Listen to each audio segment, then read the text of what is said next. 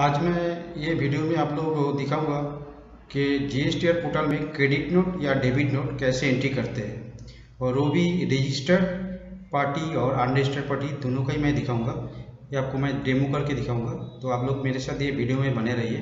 तो पहले थोड़ा समझ लेते हैं कि क्रेडिट नोट या डेबिट नोट क्या है जो हम लोग जीएसटीआर पोर्टल में एंट्री करते हैं। तो क्रेडिट नोट हम लोग इशू तब करते हैं कि जब सेल्स रिटर्न के अगेंस्ट में ये इशू किया जाता है। क्योंकि हम लोग अगर कुछ गुड्स किसी को दे दिया, मगर उसके अगेंस्ट में कुछ रिटर्न आया या तो कुछ जो भी है जिसका बिल में कुछ घट गया या उसको फिर रिटर्न के हैसियत से जो बिल हम लोग उसको चेंज नहीं कर पाते तो उसके अगेंस्ट में हम लोग ये क्रेडिट नोट इशू करते हैं। और जो डिफरेंस अमाउंट हम लोग क्रेडिट नोट में करते हैं तो उसी को ही हम लोग बिल से माइनस हो जाने के लिए जी वन में जाके उसको हम लोग ये क्रेडिट नोट बोल के वहाँ पर एंट्री कर देते हैं।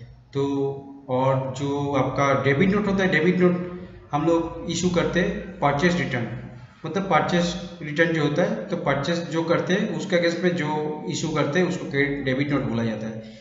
तो क्रेडिट नोट है सेल्स रिटर्न के अगेंस्ट में और डेबिट नोट है परचेस रिटर्न के अगेंस्ट में।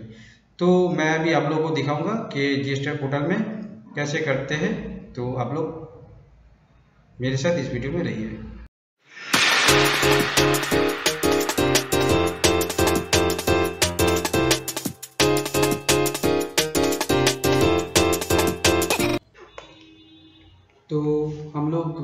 जीएसटी पोर्टल को लॉगिन कर लेते हैं। देखिए, मेरा यहाँ पे जीएसटी पोर्टल लॉगिन कर लिया लॉगिन करने के बाद डैशबोर्ड में मैं क्लिक कर लिया तो ये इंटरफेस आ गया। तो यहाँ पे खोलने के बाद ये मैं अभी देखिए 2020-21 को सिलेक्ट कर लिया। अगस्त महीना है। तो इसके बाद मुझे जो क्लिक करना है, देखिए डिटेल्स ऑफ़ आउटडोर गुड्स और services G S T one यहाँ पे क्लिक करना है।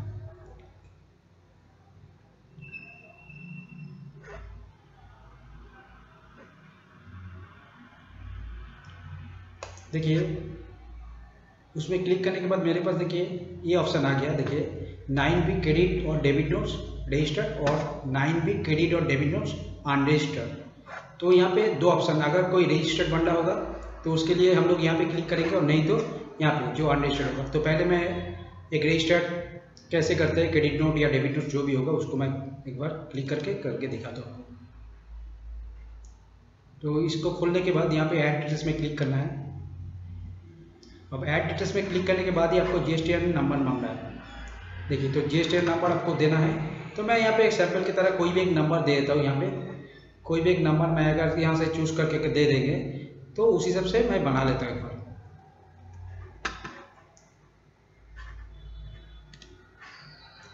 देखिए, मैं यहाँ पे जी नंबर जब दिया, अब उसके बाद टैब मार रहा है। देखिए टैब मारने से यहाँ पे देखा, देखिए, कंपनी का नाम आ गया ऑटोमेटिक वहाँ पे डेबिट या क्रेडिट नोट तो आपको डेबिट या क्रेडिट नोट का नंबर देना है सपोज़ आप दस नंबर देंगे।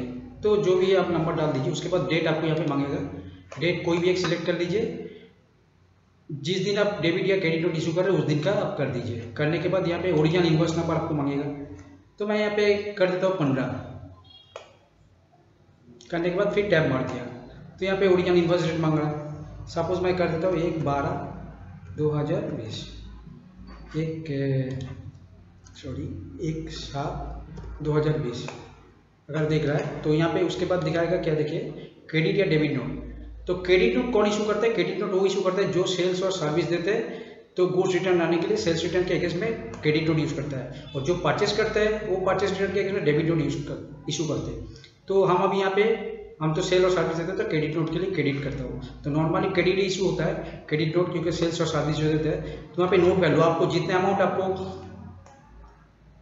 क्रेडिट नोट में इशू करना है तो टोटल अमाउंट आप देंगे। सपोज़ आपका ग्यारह सौ आपको टोटल आ रहा है, या सपोज़ आपको मान लीजिए कि सौ रुपये का आपको क्रेडिट नोट बनाना है, उसमें टैक्स लेके एक सौ अठारह रुपया हुआ है तो आपको वहाँ पे एक सौ अठारह रुपया टोटल आप डाल दिया।